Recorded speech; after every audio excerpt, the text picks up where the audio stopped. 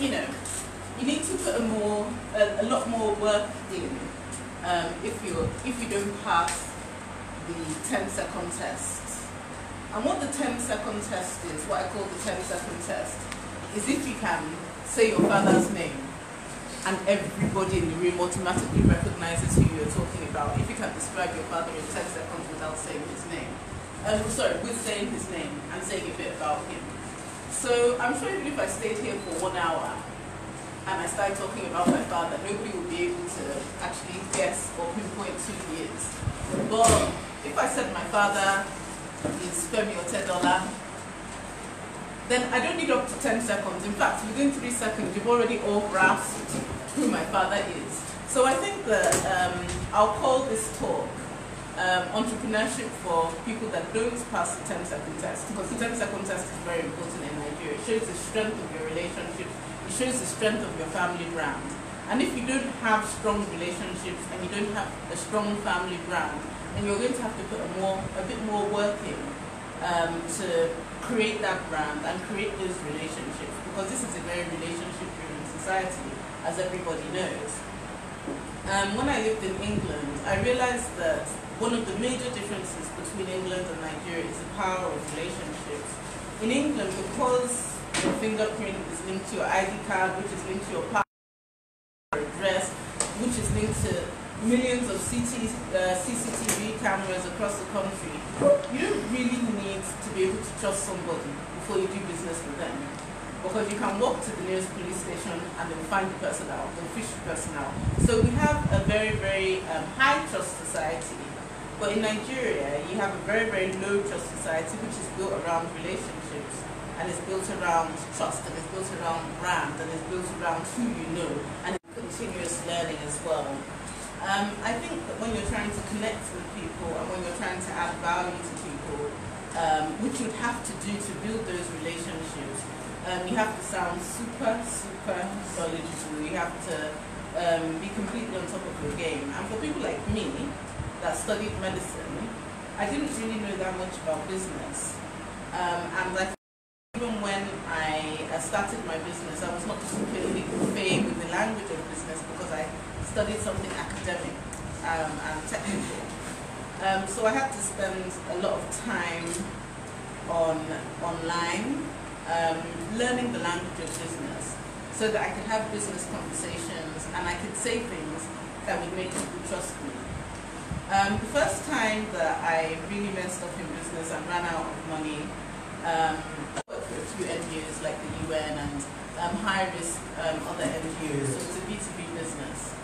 Um, and I, he asked me, you know, what, what your cash flows, your revenue, bring your balance sheet, bring your cash flow statement, what your audited accounts, um, what, what, what is, what, what's the business about? And I told him, you know, that um, a few stories about patients that were transferred before.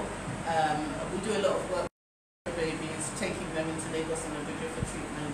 So I started talking about the pathogenesis of um, premature babies and uh, congenital heart disease and the risk of respiratory distress. He said, no, no, but where's your cash flow statement? and I said, you know that these babies, I mean, prematurity is one of the biggest causes of death in children, um, especially in the first week of life. But, but he said, you know, but what I'm looking for is what you, you're in a cash flow problem. I was in the first place that my business had run out of money. Um, but the only reason why I even ended up in the head office asking for the loan in the first place is because one thing that I had done very well was farming the people in my local branch. So I was very good friends with my account officer. When my area manager was doing his, um, his dad died, he sent me a WhatsApp and he sent me the ugliest Asoebi that I've ever seen. It was like brown Ankara, really, really dirty, horrible brown. And the thing was now in some village in Anambra. So even when I got to Owerri, we had to drive like five hours to get to the village. And it was so hot and horrible, but I thought that this guy might be useful to me at some point in my life, so let me just go for the journey. And he was the one that actually drove me to the head office to get the loan. So I'll talk about relationship development later. Um, but one thing that he taught me was that I hadn't learned to speak the language of business, and because of that, it really, I wasn't coming to him with any name. I was only coming to him with a statement. And it made me seem untrustworthy and uncredible and not like somebody that he should be giving. Um, he was very patient with me, he helped me restructure the business. Um, he helped me speak to some of the vendors and communicate with some of the vendors and make sure that they paid me a bit earlier so I wouldn't run into the um, problems I had. But one thing that he did tell me is you have no idea what business you're in. You think you're telling me about babies, about congenital heart disease, about respiratory distress, about cardiac arrest. That's fridge. That is not what we're doing in this bank. What we deal with in this bank is money. And unless you know about the language of money, I'm afraid it's just your area manager that is kneeling down to beg for you now. But left to me, I wouldn't have given you this facility in the first place because you didn't seem to know what you're doing. Um, so I had to go back and start learning um, about business and learning the fact that the technical business or the technical work of what you do is very, very different from the business of what you do. So lawyers are not necessarily good at running law firms. Hairdressers are not very good at, necessarily very good at running hairdressing outfits. Uh, doctors are not very good at necessarily running hospitals or air ambulance services because even though we may have mastered the technical work of what we do, I was one of the youngest doctors in England. I was immediately, immediately I graduated, different countries started courting me to do academic research in their countries. I eventually went to go and live in Japan because I got a scholarship from the Japanese government to go and study uh, pluripotent stem cells. Very, very in the University of Tokyo. So I really thought that coming to start an air ambulance, I would know what I was doing. But actually, the business of what I do or what my profession is was very, very different from the technical work of what, um, of what I did.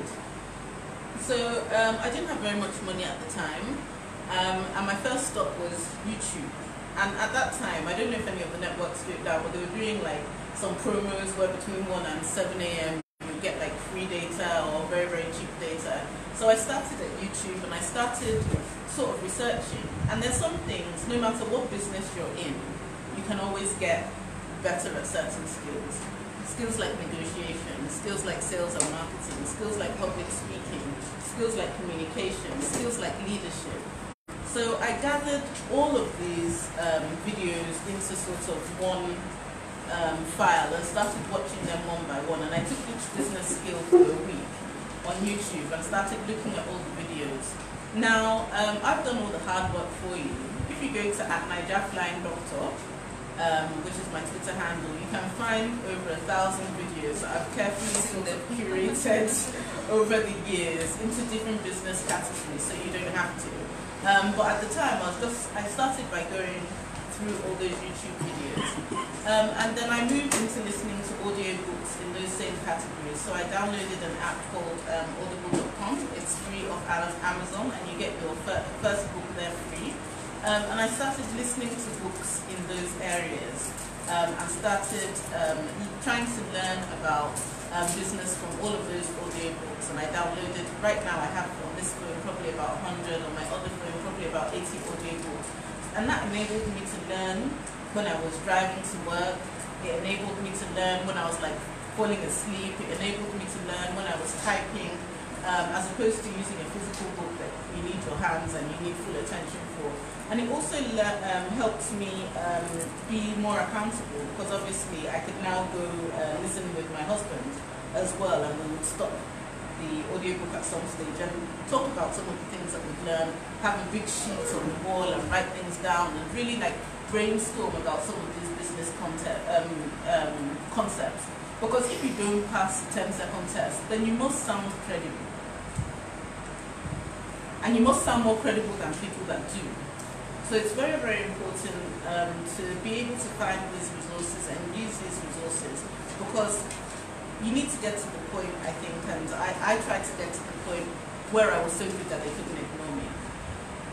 That I, w- that I was so good that they couldn't ignore me. Okay. Because I was so good at what I was doing, I was so good at communicating, I was so good at reading people, and I had such diverse knowledge that I could actually make small talk with anybody at events about their area of speciality or what they were doing so that um, I could build relationships more easily. And relationships are the key to business in Nigeria. So I think when using your time, um, the key to using your time is trying to dedicate that time towards as much time as possible towards continuous professional development. So I've spoken about the YouTube, which is the rudimentary level. I've spoken about the audio books. And then you can go on to do courses on uh, Coursera.com and um, on HarvardX as well. Uh, Coursera.com actually has a lot of free um, courses from American universities that you can add to your CV, but it also helps with this language of business thing that I'm talking about, and it also helps with your networking. So I went to, I was in LA last week, and it was people on my from my economics course actually that I was hanging out with and staying with. Because I met them online and we started talking. And obviously a few of them were doctors as well. So they really struggled with economics and accounting like me. And I've known them for years and we kept in touch. We follow each other on Twitter. So when I got to LA it was like a big reunion of people that I hadn't seen before. But on online you can be part of 1,000 people in a discussion course taking a course. And eventually you grow to the point that you're doing business other as well. We're talking about different ideas. So I think online courses, especially on Coursera and Harvard, um, Harvard X, have been very, very um, useful for me as well. Um, so um, then you can start going abroad for courses as well, but I don't advise that to be honest, because you leave your business. I was paying like maybe $1,000, $2,000 to go on a course abroad plus the cost of the ticket. But on Coursera, those courses are like one, one $100 and I get far better networking opportunity online than I even do when I'm flying out for those courses. So I hardly go for courses abroad anymore. Most of my learning is done online now and I think that that's the future for learning. And also when you're training your staff, um, most of my training is now in-house for my staff. Very, very important if you're employing people to make sure that you're training them up. And um, lynda.com on LinkedIn has a lot of courses that you can do. But you can also use YouTube for that. And if you want to make sure that they're doing the training that you're giving them, then you can go to classmarker.com and you can set exams on those videos. And it's also a free application. So before even somebody starts in your organization or maybe in their first group when you're doing the onboarding, just set a number of YouTube videos that are targeted at your audience and then set an exam on classmarker.com and it will tell you the questions that they got wrong. You will analyze their whole professional development. So even if you don't have the finance to bring people in, can still train people on YouTube, download the videos for them, make sure they watch them, and then the classmarker.com, the exam application is also free to use. Um, so that's really about continuous learning, both for us as entrepreneurs and um, for our team members as well. Um, uh, changing the people that I spend time around. 99% of the people that you meet in this are not serious people. Like they're not people that really want to be rich, they're not super ambitious. So we find that when you need to, if you, and I'm assuming that everybody here are business people, super serious business people, they want to succeed, they want to build good businesses, most people are not like you. Um, so you must find people with your own kind of value. Relationships between people like yourself, people of like minds, are really, really important. And then in terms of networking, um, making sure that you spend your time strategically networking. Um, and there's two sides to this.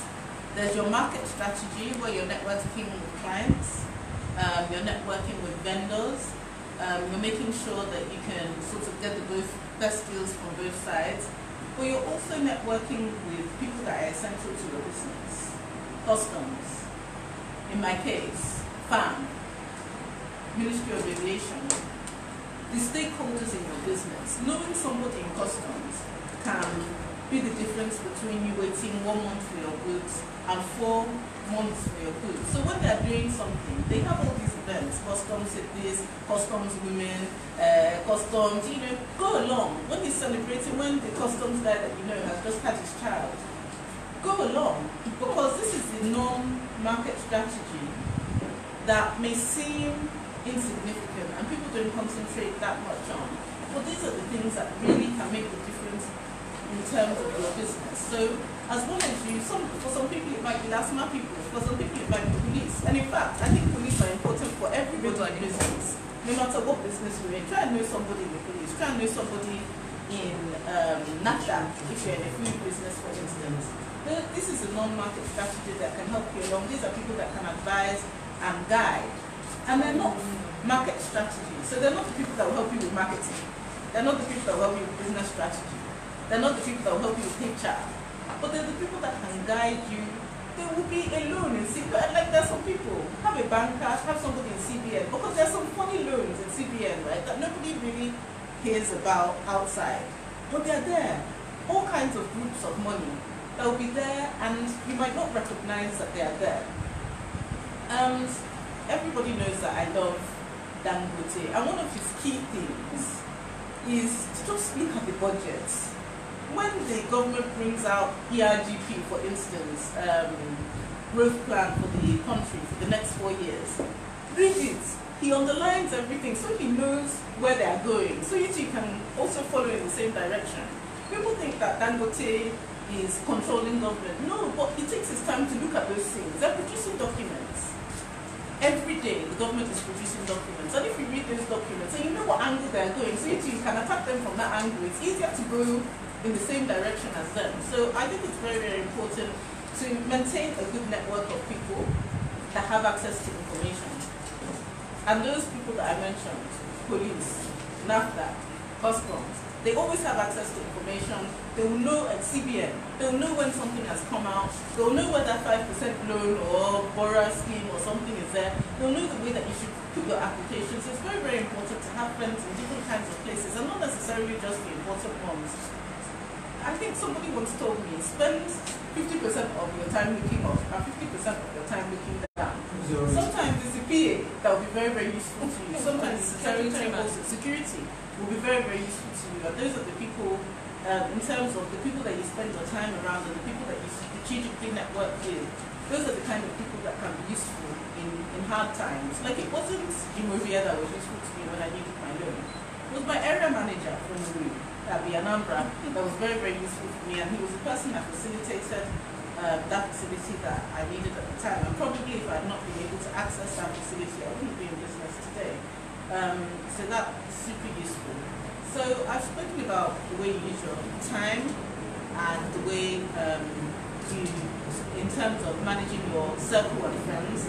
The last thing I will speak about, money is very important.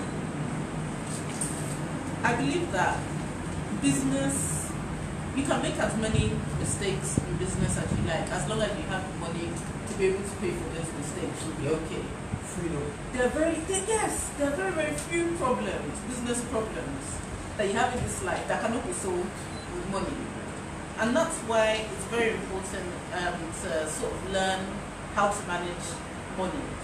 So the only area that I would advise you to be promiscuous banking. is in banking. Make sure that you interview every single bank to find out where you are going to get the best relationship, the best interest rates on your savings, the best, lowest possible rate on your loan. Because these are all money management secrets. And also your COT, all those charges, make sure that you negotiate them to the bare minimum. And find the account officer, area manager, you better your relationship with your area manager. Well, it depends on the structure of your bank. But for most banks, and let me give you, let me even give you the logo since I'm here. Zenith Bank has a structure that is on its own. My bank is Zenith, so it's not controlled by the head office. They have a branch structure. Mm. So therefore, the person that you need to target is your area manager. Some banks, you find out that they have a head office structure, which means that definitely for any major decision, you need favors that necessarily somebody may not get. And even if it's just 1%, 2%, what shares should I invest in, what fixed deposit rate should I go, they'll go the extra mile for you to make sure that you get those things and are able to manage your finances and are able to manage your savings and investments much better than the average person that does not have a relationship. Banking is a relationship business at the end of the day. Um, so that's super important as well.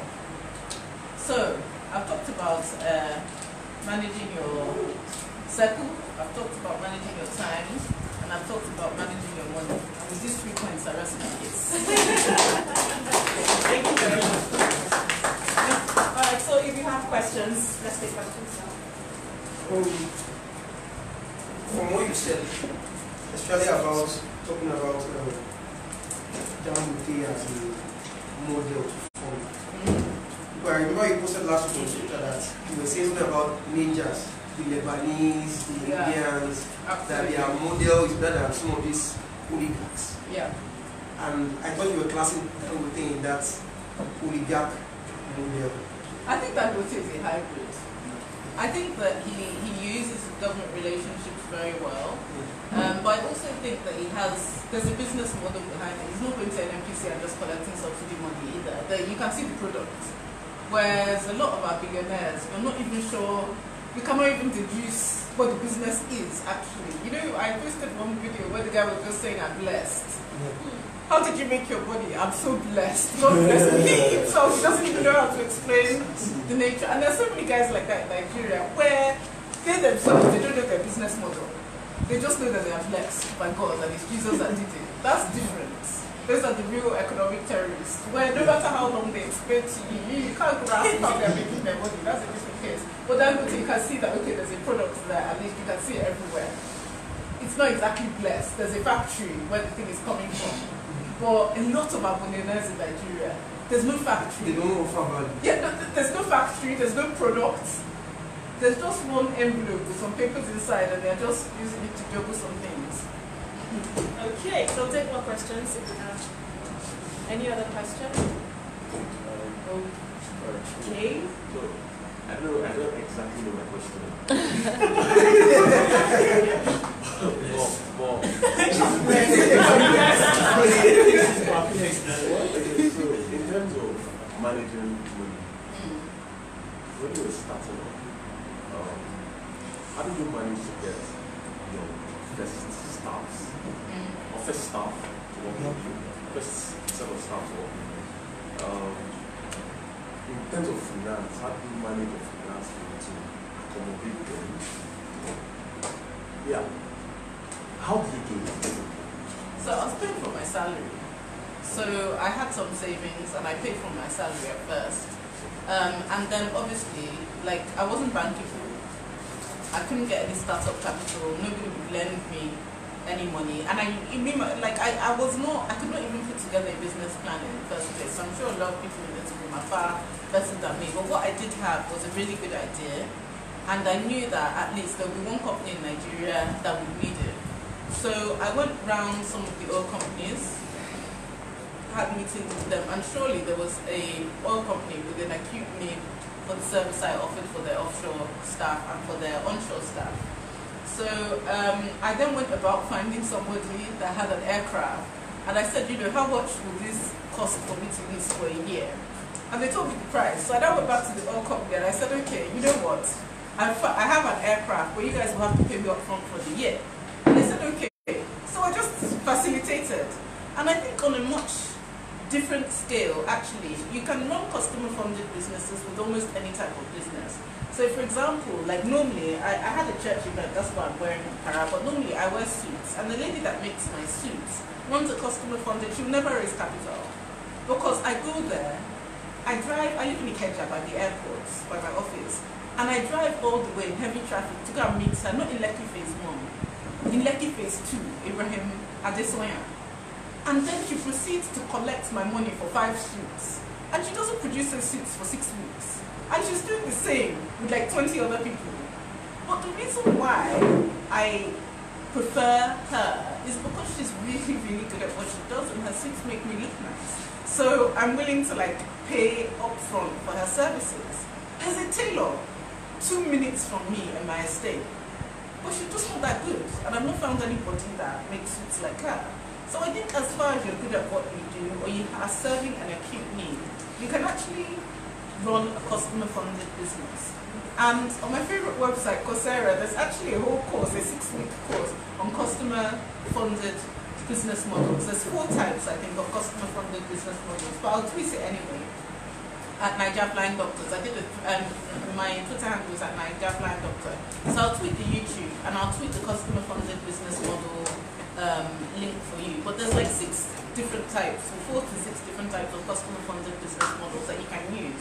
So you can start without really having any capital. Because I didn't have any startup capital, I just brokered a transaction. And after I managed to get my cash flows from that, that was when I actually had capital from my customer to run the business. What about your footage? Sorry? Your footwear. My Timberland shoes. Okay. My my Your footwear. You have, you have someone that makes your um, suits for you. yeah. You have someone that makes you footwear as well. You know, because I used to be very, very broke, um, and I had to really, I really had to manage in my life. I actually, when I was young, I only had two pairs of shoes, um, and you know, now I just don't see any use of having more than two pairs of shoes. Uh, so I still only have two pairs of shoes. When you see a shoe, shoemaker that is going to be a shoemaker, I don't I don't buy I don't engage in material things at all. So I'm not like I'm like the most um I have one bag and two pairs of shoes. And I think it was because of those hard times, the habit just continued. So now I just don't buy stuff anymore. Like I just don't engage with the material world anymore. Look at my phone, for goodness sake. Like I'm just not I've just become I think there's two ways that you can go. If you grow up like quite poor, then you can either become that person that when you make money you just start to like buy money everything on- you need to you need to be Yeah. doing Hushpuppi on Instagram and all of those things or you just maintain those same broke habits and unfortunately I fall into the second yeah tho- those same broke habits I so like I just maintained that lifestyle so how did you get um, access to those um, oil companies you said you actually worked? Introduction. So um, I started from the NCAA and I asked the director of the NCAA to um, help me with registering an air ambulance. So he introduced me to his deputy. His deputy happened to be the ex-director of um, uh, aviation ambulances to introduce me to somebody. I showed my medical certificate and all the certificates I'd gotten I wanted to start. So he helpfully introduced, introduce me to a few people that he knew in the oil industry. Those people introduced me to other people that they knew in the oil industry, and I gradually was able to build my network um, from there. Um, but there's some trips that I made, obviously, that didn't work out at all. So there was this time, I hope she won't be offended that I'm telling you this story, I'm sure she Uh, 4,000, yeah, it was 4,000 naira and it took ages um, to get there. And I got to her office and I didn't see her till 4 p.m. But I was waiting for a life changing meeting, so it was okay, right? It was Amina Mohammed, who's now at the UN, but then she was at the um, Department of um, the Millennium Development Goals. So the pilot had thought, okay, air ambulance really fits in mortality, maternal mortality. And I have no idea how I was going to get back to Lagos.